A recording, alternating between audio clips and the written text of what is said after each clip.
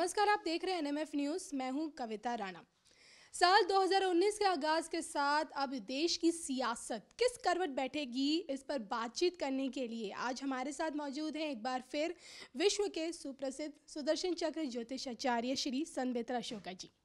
संबेत्रा जी आपका स्वागत है। नमस्कार। नमस्कार कविता जी कैसे सर बिल्कुल ठीक हूँ। सर नया साल लग चुका है। अभी तक तो मोदी सरकार पे कई कई हमले किए जा रहे थे। पंद्रह लाख लोगों के अकाउंट में नहीं आए।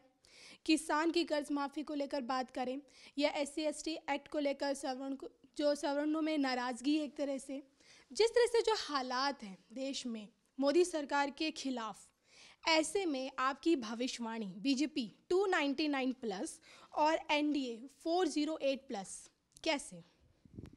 देखिए 2019 के लिए जो भविष्यवाणी हुई है, वो देववाणी है और उसमें 2016 में ये प्रेडिक्ट कर दिया गया था कि बीजेपी जो है 299 प्लस सीट्स लेगी और एनडीए जो है 408 प्लस सीट्स लेगी। अभी जो करंट सिनेरियो है, ये चेंज होगा फरवरी में। जैसे ही फरवरी स्टार्ट होगा मोदी जी के ग्रह चेंज होंगे और उसके साथ ही जो प्रोडिक्शन की गई है, देश की जनता जो आवाम है, इस चीज़ को रियलाइज़ करेगी कि मुख्य मुद्दा क्या है और उसको प्राप्त करने के लिए देश को और मोदी जी को उनको किस तरीके से स्ट्रांग बनाना है।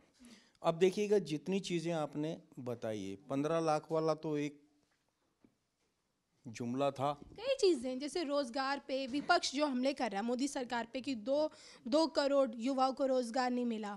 दूसरी तरफ़ कह सकते हैं कि धारा तीन सौ सतहत्तर पैंतीस ए को लेकर भी सरकार का रवैया ढिलमुल लगा। कश्मीर मुद्दा देख लीजिए पड़ोसी मुल्क पाकिस्तान को देख लीजिए। हर तरफ़ से हर तरफ़ से जहाँ हम कह सकते हैं दो हज़ार चौदह में मोदी लहर दिख रही थी इस बार वो कहीं ना कहीं फीकी नज़र आ रही है कहीं नज़र नहीं आ रही देखिए ये चीज़ आपको फरवरी के स्टार्टिंग में सामने नज़र आ जाएगा।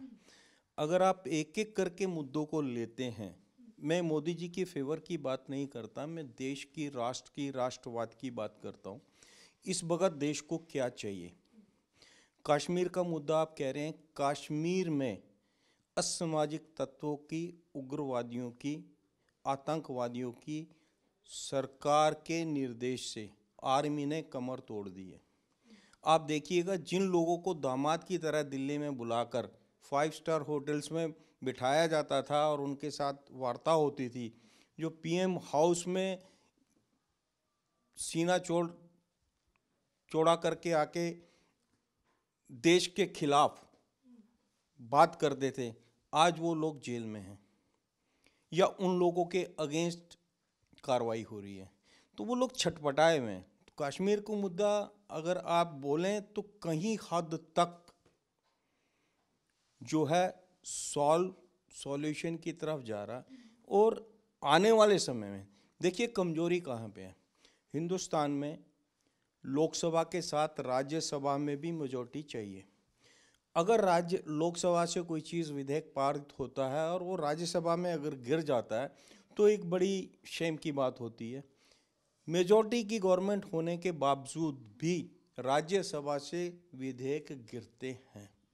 चाहे ट्रिपल ट्रिपल तलाक का मुद्दा ले लो, राम मंदिर का मुद्दा आपने नहीं बताया तो राम मंदिर का भी मेन मुद्दा है। वो भी जो है विधेयक क्यों नहीं ला रहे हैं, उसको क्यों नहीं ला रहे हैं, उसका कारण ये है कि अगर बाई दी वे, वो राज्यसभा में किसी कारण, विघटनकारी ताकतों के इकट्ठे होने के कारण अगर वो गिरा दिया जाता है तो ये देश के लिए बहुत बड़ी विश्व में शर्म की बात होगी कि भगवान राम का मंदिर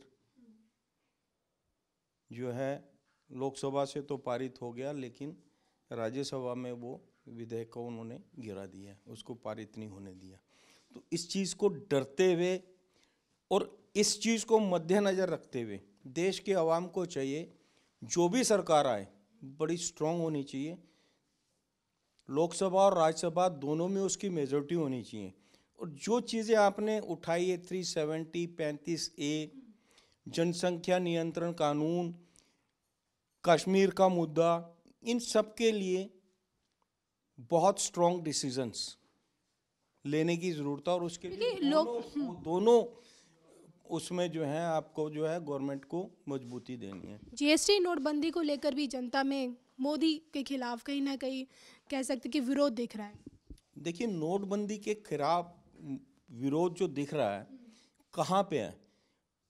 वो उन लोगों को है जिन लोगों ने बहुत ज़्यादा छाती पीटी है। एक गरीब आदमी से पूछिए, उसको क्या फ़र्क पड़ा? उनके पास इतना था भी नहीं। था भी तो वो सर्कुलेशन में चला गया। अगर कहीं गरीब आदमी लाइन में लगा हुआ था तो वो किसी अमीर आदमी के पैसे को कन्वर्ट करवा रहा था। नोटबंदी का सबसे बड़ा फ़ायदा जो हुआ, वो ये हुआ है कि जो पैसा घरों में पार्क हो रखा था ब्लैक मनी वो सर्कुलेशन में आ गई है बैंक में आ गई है। सबसे बड़ा फ़ायदा हुआ। है दूसरा, आतंकवाद की कमर टूटी है। आप देखिएगा कि पाकिस्तान में नोटबंदी के तुरंत बाद क्या हलचल हुई है। वहाँ से जो आपका फेक करेंसी जो छापते थे, उन लोगों की कमर टूटी है, उन्होंने सुसाइड्स किए हैं। पाकिस्तान की आज बुरी हालत का सबसे बड़ा कारण हिंदुस्तान में नोटबंदी है। और उसका सबसे बड़ा जो फेक करेंसी के साथ जो उग्रवादी, आतंकवादी आके देश को डिस्टर्ब करते थे, उनकी कमर टूटी। पत्थरबाजों के वो बंद हुआ। आपकी जितनी भी आपकी जो विघटनकारी ताकतें थी, उनकी जो काम करने का स्टाइल था, उनको चेंज करना पड़ा। तो ये सब नोटबंदी का इफ़ेक्ट था। हाँ बैड इफ़ेक्ट था, क्योंकि इंडियन करेंसी जो है, चौदह से पहले जो भी काम काज था, जो गरीब लोग थे, ये आपका कैश पे होता था। पेमेंट्स कैश पे होती थी लेबर क्लास को टोटल कैश पे होती थी। उसमें डिस्टरबेंस आई है कुछ टाइम के लिए, लेकिन वो वर्ग इतना परेशान नहीं है। जितना वो वर्ग परेशान था, जिसका पैसा जो है, बहुत ज़्यादा जो है, बर्बाद हुआ। चलिए श्री सनबेत्रा शोका जी, ये तो आपने कहा कि फरवरी के बाद वक्त करवट बदलेगा। एक तरह से बीजेपी के लिए मतलब बीजेपी की ग्रह दशा सुधरेगी और आ सकती सरकार, जो आप अपनी भविष्यवाणी पे टिके हुए हैं कि ना सिर्फ़ 2019 में भी, बल्कि 2024 में भी। लेकिन ऐसे में एक सवाल ये भी उठता है कि अभी हाल ही में जो चुनाव हुए हैं छत्तीसगढ़, मध्य प्रदेश और राजस्थान में खासकर, जिस तरह से कांग्रेस ने जीत का परचम लहराया है और ऐसे में क्या अभी भी आप अपनी भविष्यवाणी पे कायम है? जो मोदी जी हैं, वो हारी हुई बाजी को जीत पाएँगे? बिल्कुल, डेफिनेटली जीत पाएँगे और अगर आप इन तीन स्टेट में देखते हैं, जिसके रिजल्ट्स के बारे में आप बात कर रहे हैं, चाहे मध्य प्रदेश है, चाहे आपका राजस्थान है या छत्तीसगढ़ है, छत्तीसगढ़ में तो उनकी लैंडस्लाइड विक्ट्री हुई है। उस पर तो इनको सोचना पड़ेगा। लेकिन ना राजस्थान और मध्य प्रदेश को अगर देखते हैं तो उसमें कांग्रेस की जीत नहीं है। देखिए, कांग्रेस को जो ब्लैक बोर्ड आपका एंटी इनकम्बेंसी का मिला, वो एक ऐसा ब्लैक बोर्ड था, उस पर कांग्रेस कुछ भी लिखती, जीतती।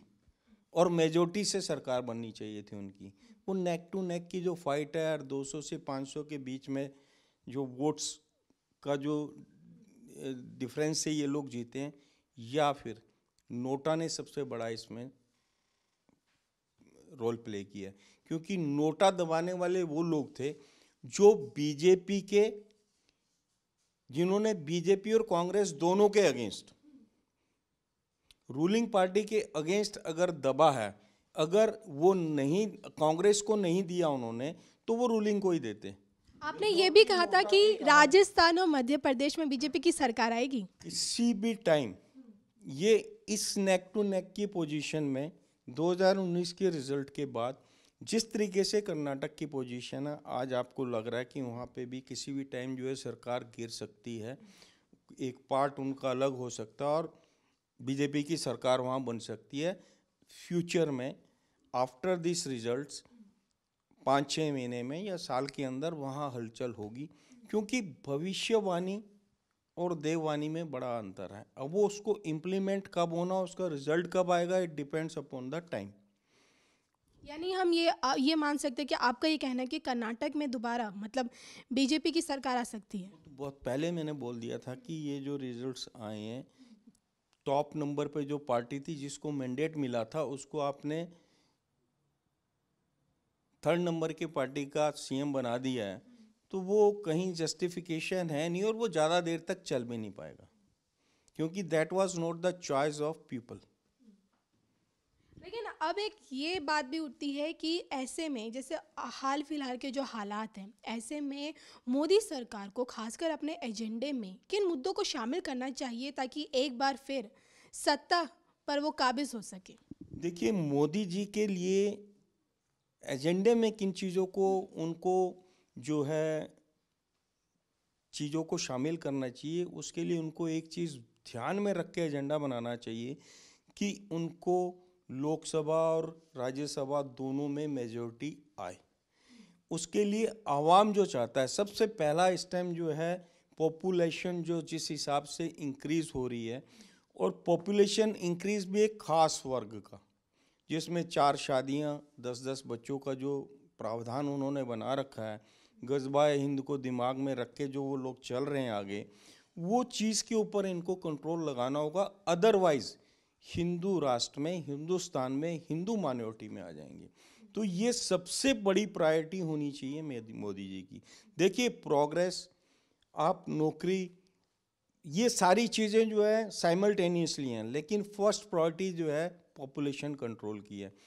पॉपुलेशन कंट्रोल वर्ल्ड की जो टॉप की कंट्रीज़ हैं, उन्होंने टाइम से किया they are number one two three अगर इंडिया नहीं करेगी तो दे विल बी नो क्योंकि वो सेगमेंट जो है, वो सिर्फ़ दूसरे के अधिकार को छीन के आगे बढ़ना जानता है। आप देख लीजिएगा, जहाँ पे भी बाकी कंट्रीज़ में उनका क्या हाल है। पॉपुलेशन के अलावा? पॉपुलेशन के अलावा सेकंड जो है सेकंड क्या फ़र्स्ट जो है, वो है राष्ट्रवाद। राष्ट्रवाद के साथ ही जुड़ा हुआ पॉपुलेशन है। राष्ट्रवाद के लिए, देश हित राष्ट्रहित के लिए उनका बड़ा कंस्ट्रक्टिव मूवमेंट होना चाहिए, जिसमें सबसे पहला राम मंदिर है। क्योंकि देश की 80 परसेंट आवाम जो है, राम मंदिर के मुद्दे को सुलझाना चाहती है। ये मुद्दा फ्यूचर में कभी किसी भी पॉलिटिकल पार्टी का मुद्दा नहीं होना चाहिए। तो राम मंदिर के मुद्दे को इलेक्शन से पहले इनको इस पे डिसीज़न होना चाहिए।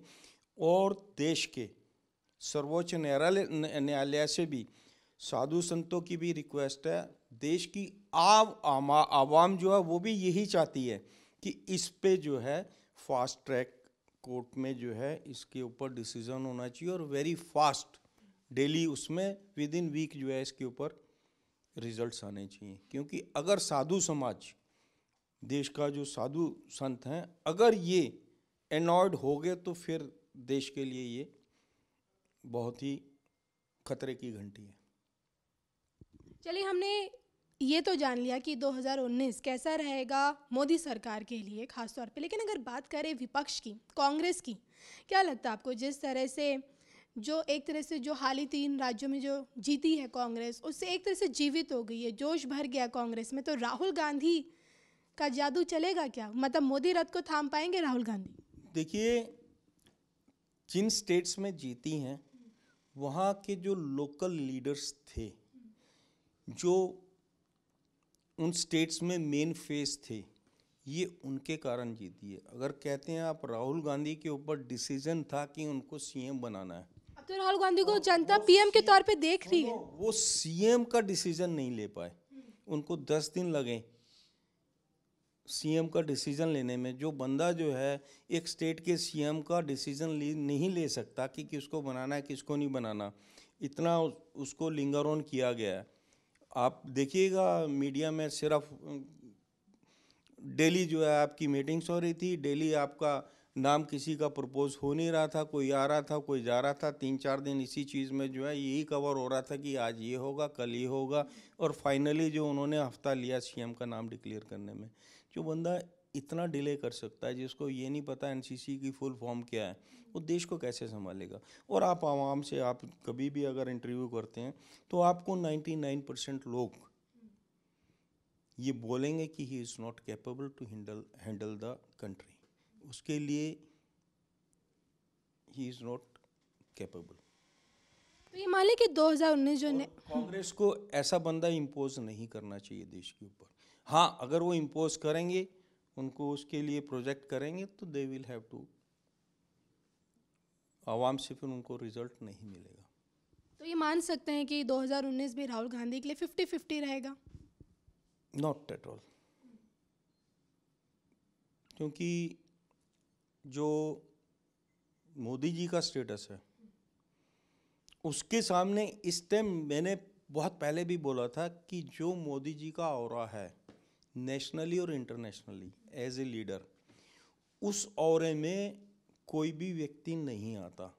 नो, आप अपोजिशन, गठबंधन या महागठबंधन, कोई भी उनके पास ऐसा नेता नहीं है जिसको मोदी जी के सामने वो प्रोजेक्ट कर सकें कि ये बंदा जो है मोदी जी के against as a PM project कर सकते हैं। इसलिए महागठबंधन हो या अपोजिशन का जो भी वो बनाएँगे सेकंड फ्रंट थर्ड फ्रंट कुछ भी बनाएँगे they won't be able to project their PM candidate मेरा सुझाव है कि मोदी जी को अपने डेकोरम को कायम करते हुए ए आर एस और एम इनिशियल की जो राष्ट्रीय नेता हैं, उनकी उल जुलूल बातों का जवाब नहीं देना है। जैसे अभी आपके स्टेट असेंबली इलेक्शंस में मोदी जी के ऊपर, मोदी जी की माँ, माता जी के ऊपर कमेंट किया गया था राज बब्बर ने और उसके ऊपर उन्होंने रिएक्ट किया। मोदी जी का स्टेटस ये नहीं है कि एक अदना कद के नेता के स्टेटस पे आके उसको जवाब दें। मोदी जी का बहुत बड़ा कद है और मोदी, ये चीज़ तो सबने सुनी है कि मोदी जी की मदर के लिए उन्होंने गलत बोला। इस चीज़ों को, इन सब चीज़ों को वो रिएक्ट ना करें। ऐसी चीज़ों को वो रिएक्ट ना करें, क्योंकि उनका स्टेटस जो है, वो वो नहीं है। और कांग्रेस या छुट भैया नेता कोशिश ये करेंगे कि मोदी जी उनके स्टेटस में आके बात करें। स्टेटस में आके बात करें तो गाली गलोच होगा। तो ही शुड इग्नोर ये कुछ भी बोलें जितना गलत बोलेंगे मोदी जी के लिए, उतना मोदी जी को फ़ायदा होगा। एक महीना जनवरी का ये सिर्फ़ सुने, जो इनके अगेंस्ट बोलते हैं, इनका जवाब बिल्कुल उनके स्तर पे जाके ना दें। मोदी जी को सिर्फ़ बताना है कि उन्होंने 2014 से लेकर 2019 के बीच में क्या अचीव किया इन बातों के लिए उनके पास समय नहीं है। उन्होंने जो अचीवमेंट किए हैं, वो बताएँ, कितनी प्रोग्रेस हुई है देश में? कितने प्रोजेक्ट उन्होंने रन किए हैं, कितना कलेक्शन हुआ है रेवेन्यू का, कितना आपका इनकम टैक्स के जो वो हैं, बढ़े हैं नंबर बढ़े हैं, और कितना टैक्स कलेक्ट हुआ है, इसके ऊपर बात करें। और क्या जो उन्होंने करेक्शन किए हैं, उनका, उनको क्या रिज़ल्ट मिला है? ये जो छुटभैया टाइप के नेता हैं छोटी मोटी बात बदतमीजी वाली कर देते हैं, उनका इनको बिल्कुल जवाब नहीं देना। अगर उस पर समय खराब करेंगे तो इनकी सीटें घटेंगी। इनको उस पर समय खराब नहीं करना है। अपनी अचीवमेंट सिखानी है। इनके जो भी नेता हैं स्टार प्रचारक हैं, उनको भी इस चीज़ का बहुत ख्याल रखना है कि सामने वाले के स्तर पे जाके निम्न स्तर पे जाके बात गाली गलोच ना करें। क्योंकि एक बंदा अगर डेकोरम नहीं मेंटेन कर रहा है वो इसलिए नहीं मेंटेन कर रहा है कि उसका कोई स्टेटस नहीं है। आपको, अपने स्टेटस को, अपनी सेल्फ रिस्पेक्ट को ध्यान में रखते हुए उनके स्टेटस पे जाके उनको रिप्लाई नहीं करना। है अपने स्टेटस का, अपनी सेल्फ रिस्पेक्ट का, अपने डेकोरम को आपको मेंटेन करना है। ये उनके लिए मेरा, और पूरा एनडीए के लिए मेरा ये, उनसे रिक्वेस्ट है कि इस चीज़ पे कायम रहें। क्योंकि देश पहले है, राष्ट्र पहले है। देश राष्ट्र की बात करोगे, जनसंख्या कानून को कंट्रोल करोगे, विकास तो है ही, वो तो होगा ही, उसके पैरामीटर्स अलग हैं। लेकिन जिस चीज़ पे वो लोग लड़ रहे हैं, उस पर उनके स्तर पे जाके उनको जवाब ना दिया जाए। अब राफेल राफेल राफेल होता रहा। राफेल का जवाब राफेल नहीं है। राफेल का जवाब जो है अगस्ता है। अगस्ता में उनको इन लोगों को अरेस्ट करें तो वो उनको जवाब होगा। चलिए, सन बेत्रा जी, आपका बहुत बहुत शुक्रिया देश की राजनीति पे हमसे बातचीत करने के लिए। तो जैसे कि सन बेत्रा ने, सन बेत्रा की एक नई भविष्यवाणी जी की, एक नई भविष्यवाणी हो गई है साल के आगाज़ के साथ कि फरवरी के बाद वक्त बदलेगा और बीजेपी का अच्छा वक्त शुरू हो जाएगा। और साथ ही साथ सुझाव भी दिए हैं कि पीएम मोदी को नेताओं की बयानबाजी में फंसने के बजाय जो उन्होंने अपने पाँच साल के कार्यकाल में जो काम किया है, वो जनता के बीच में जाके बताएँ और एक बार फिर ना सिर्फ़ 2019 में, बल्कि 2024 में भी अब की बार मोदी सरकार ही आएगी। देश दुनिया की तमाम खबरों के लिए आप बने रहिए सिर्फ़ एनएमएफ न्यूज़ के साथ।